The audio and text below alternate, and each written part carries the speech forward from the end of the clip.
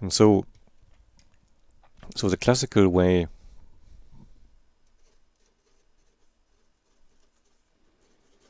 the classical way of carrier recovery is a so-called phase locked loop.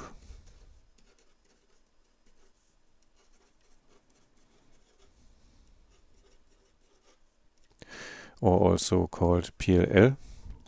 So phase lock loop is essentially a feedback system which is locking on a, on a sine wave sent into it. So let's have a look what the general circuit diagram of a PLL is. is. Um, so we've got here a multiplier unit and this is our signal R of t, the received signal.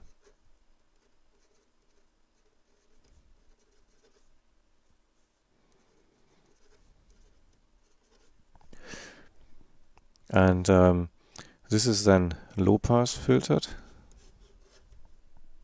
And this low pass output here is sent into a voltage controlled oscillator.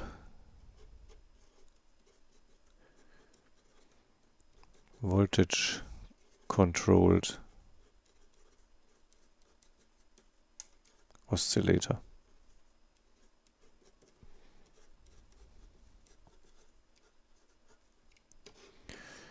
Into a voltage controlled oscillator, usually called VCO in the um, abbreviation. So let's write this here in the corner, VCO. And the output of the VCO is now sent back to this multiplier here.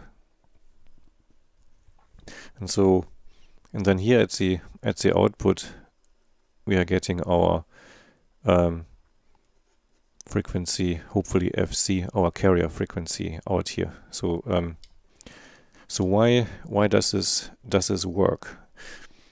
So we've got here a multiplication unit and we are multiplying input sine signal here with another sine signal, doing low pass filtering and we're doing a VCO. So these two steps, remember we, we know from our phase demodulators. So this works quite in a similar way.